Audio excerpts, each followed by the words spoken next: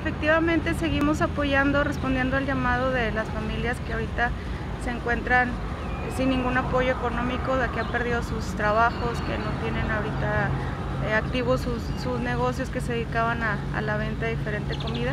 Estamos llevándoles alimento, eh, estamos recibiendo peticiones a través de nuestras páginas de Facebook y precisamente ahorita nos, nos vamos en camino a la colonia Las Torres donde tenemos varias peticiones y de ahí nos vamos a Jiménez, donde también aparte de solicitudes de alimento nos están solicitando medicamento y material de curación para el dispensario, que ahorita no tienen.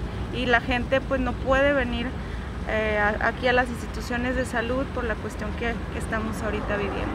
Ahorita nos están solicitando mucho eh, medicamento, nos están solicitando aparatos para, la presión, que también ya estamos eh, gestionándolos, porque por lo mismo la gente no tiene el recurso económico.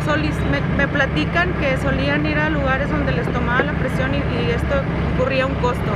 Mínimo que fuera de 30 pesos, pero ahorita ellos no cuentan ni con esos 30 pesos.